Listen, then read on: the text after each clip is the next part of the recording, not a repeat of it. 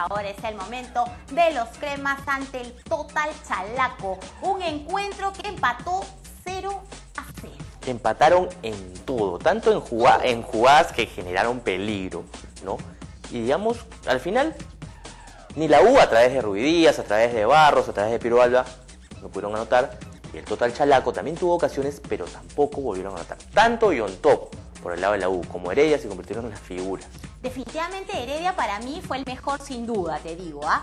Se atajó de todo, todo lo que se le acercaba, él de todas maneras lo sacaba. Bien Heredia, excelente participación. Ahora, digamos, un empate que no es nada conveniente para Universitario de Deportes, sobre todo tomando en cuenta que este miércoles tiene que enfrentar a Cristal.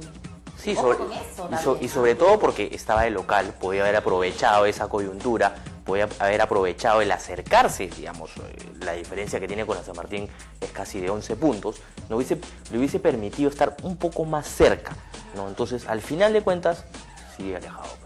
Digamos pues que, la, mejor creación en todo caso que tuvieron eh, los cremas fue casi al término del encuentro. Sin embargo, tampoco supieron aprovechar la oportunidad, ¿no? Entonces, eh, digamos que bien, bien pobre, un partido que al inicio estuvo bastante aburrido, nada atractivo, digamos que fue mejorando con el pasar del tiempo.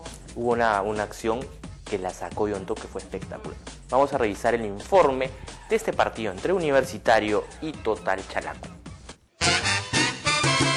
Universitario tenía la oportunidad de acercarse un poco más a los punteros, pero no pudo superar al Total Chalaco. El juego crema fue tan frío como la noche limeña. El equipo de Reynoso realizó hasta seis variantes con respecto al equipo que ganó la semana pasada al Juan Aurich. Por su parte, Total Chalaco hizo su negocio, se cerró bien en defensa y le complicó la noche a Piris, quien una vez más no pudo anotar. Por ello, los cremas empezaron a buscar el gol a través de remates desde fuera del área. Primero intentó Cachito Ramírez y luego en el segundo tiempo intentó Johan Vázquez. Los del Chalaco también tuvieron algunas oportunidades. Primero un cabezazo de Grabowski que pasó muy cerca, pero la más clara vino después. Un centro de Ubiyu se encontró bien ubicado en el área a Mendoza, pero Top, en excelente reacción evitó la caída de su valla.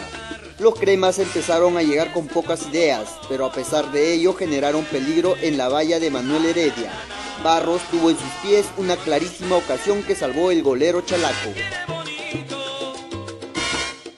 Sobre los últimos minutos, un centro de Carmona fue cabeceado por Ruiz Díaz, pero nuevamente Heredia conjuró el peligro. La última estuvo en los pies de Piero Alba, pero su remate salió desviado.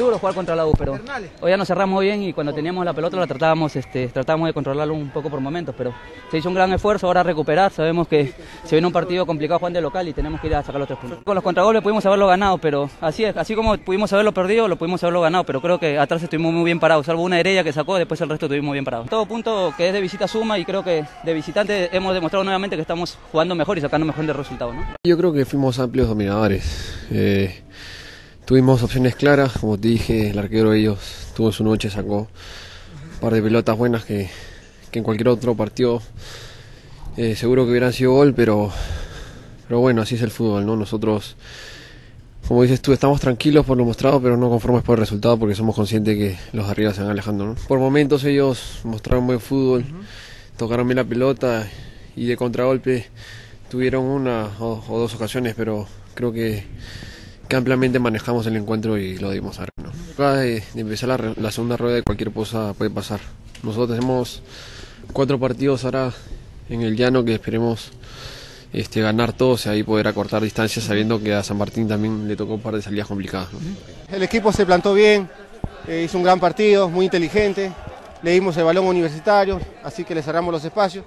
Y bueno, nos vamos este, con un empate que, la verdad este, nos deja tranquilo. El partido fue trabado, nosotros creo que lo llevamos al ritmo que, el técnico quería, así que nos vamos con un punto tranquilos, ¿no? Siempre hay que, hay que jugar estos clases de partidos, tienen mucha experiencia, hay que saberlo jugar ante un equipo grande, así que bueno, una cancha muy buena donde se puede jugar fútbol y bueno, vamos contentos con el empate, ¿no? Después del golpe que tuvimos el día jueves y del esfuerzo, sacarle un empate universitario pienso que es muy valioso y en este caso tengo que felicitar a los muchachos que realmente hicieron un trabajo muy positivo. Yo pienso que todos trabajaron, todos se sacrificaron, hicieron, intentaron cumplir la función de la mejor manera. Tuvimos en el cabezazo de Mendoza una ocasión bastante clara de gol.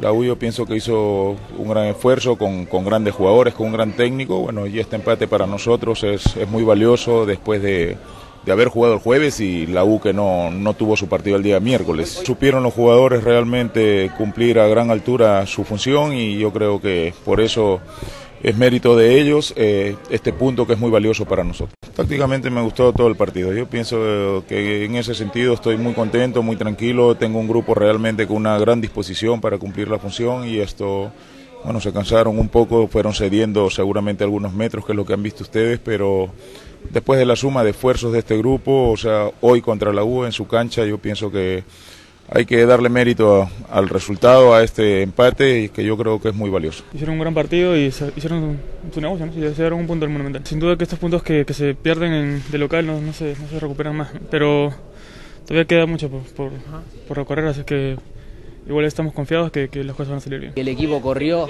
a full en todo momento, dejó la vida, colaboramos los, delanteros tuvimos que bajar y defender por momentos y, la verdad que fue un sacrificio muy grande. ¿Te quedó ahí que pudo ganar con ese cabezazo? Sí, sí, la verdad que me quedé con bastante bronca, pero, pero bueno, las cosas son así, la voluntad de Dios es esa, así que hay que respetarla. Me hubiese gustado ganar, no se pudo, pero, pero estoy contento por eso, porque le empatamos a un gran equipo y dejamos todo en la cancha. Nos toca vísperas del Día del Padre con, contra mi hermano Franco, así es que vamos a intentar hacer un gran partido. Ya tuve la suerte de, a través del esfuerzo de los muchachos, de ganar en Huánuco, así que vamos a intentar también repetir esa actuación el día sábado.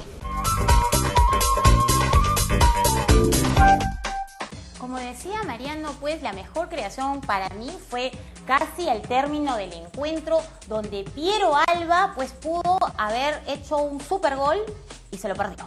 No tuvo suerte, aunque digamos que la suerte, la suerte no existe, digamos, en el fútbol no tuvo puntería, digamos, ¿no? porque falló Alba. Rudías anteriormente tuvo una acción que la sacó bien eh, Heredia, ¿no? pero después no hubo eficacia, digamos, en Universitario. Piris no está dando buenos resultados, ya la gente creo que ya le perdió la paciencia. El hincha ya no tiene paciencia. Ya no hay tolerancia, tolerancia cero. Pero no es para menos, Mariano. ¿ah?